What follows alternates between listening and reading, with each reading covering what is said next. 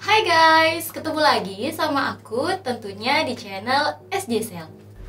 Di video kali ini aku akan membahas produk terbaru lagi dari Oppo yaitu Oppo A54.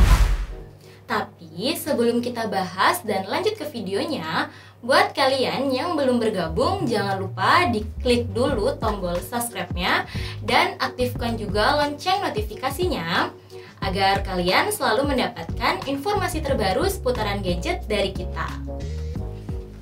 Kehadiran dari Oppo A54 ini akan menjadi jagoan baru di lini seri A di Indonesia pada tahun 2021 dengan membawa berbagai keunggulan baru dan teknologi perangkat kelas atas serta menawarkan desain premium pada layar canggihnya hingga warna perangkat yang stylish dan juga fashionable. Nah, kira-kira seperti apa sih spesifikasinya? Yuk, mari kita bahas satu persatu spesifikasi dari Oppo A54.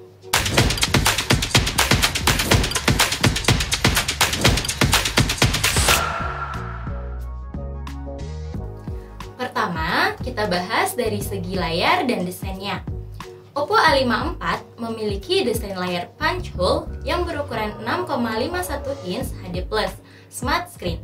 Layar ini tak hanya terkesan lebih luas dan modern, tetapi teknologi Smart Sunlight Screen dan Moonlight Screen yang tertanam pada layar Oppo A54 memungkinkannya untuk mengatur pencahayaan otomatis dengan kecerahan layar dari 2 nits hingga 550 nits saat di bawah terik matahari maupun saat di ruangan yang minim cahaya, layar tetap nyaman untuk dilihat.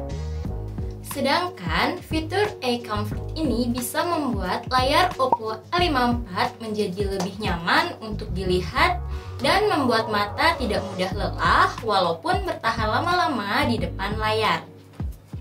Oppo A54 memiliki dimensi 8,4 mm kali 75,7 mm kali 163,6 mm dan berat sekitar 192 gram dan dengan refresh rate 60 Hz. Oppo A54 memiliki desain bodi yang ultra slim dan ringan yang dirancang sempurna agar lebih mudah untuk digenggam.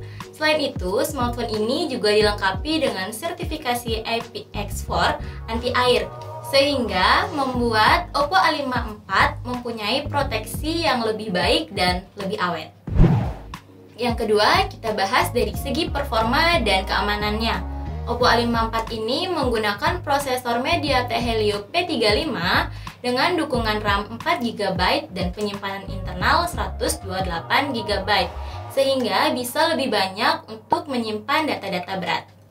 Selain itu, didukung juga dengan fitur Hyperboost yang siap mendukung kegiatan sehari-hari dengan lebih lancar dan efisien seperti multitasking hingga bermain game berat tanpa ngelag.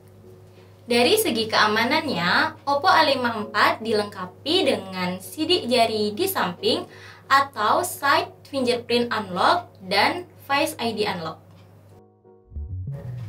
Yang ketiga, kita bahas dari segi kameranya. Oppo A54 memiliki desain kamera kotak memanjang dengan tiga kamera belakang yang kamera utamanya beresolusi 13 megapiksel, 2 megapiksel lensa makro, dan 2 megapiksel lensa bokeh. Sedangkan untuk kamera selfie-nya beresolusi 16 megapiksel dan dilengkapi dengan algoritma iSmart yang bisa secara otomatis menyesuaikan warna kulit dan cahaya sekitar. Yang terakhir, kita bahas dari segi baterainya. Oppo A54 dibekali dengan baterai berkapasitas 5000 mAh yang didukung dengan pengisian daya cepat 18 watt. Selain itu juga, smartphone ini dilengkapi dengan fitur Super Power Saving Mode dan Optimize Overnight Charging yang bisa menjaga dengan aman dan tidak overcharge.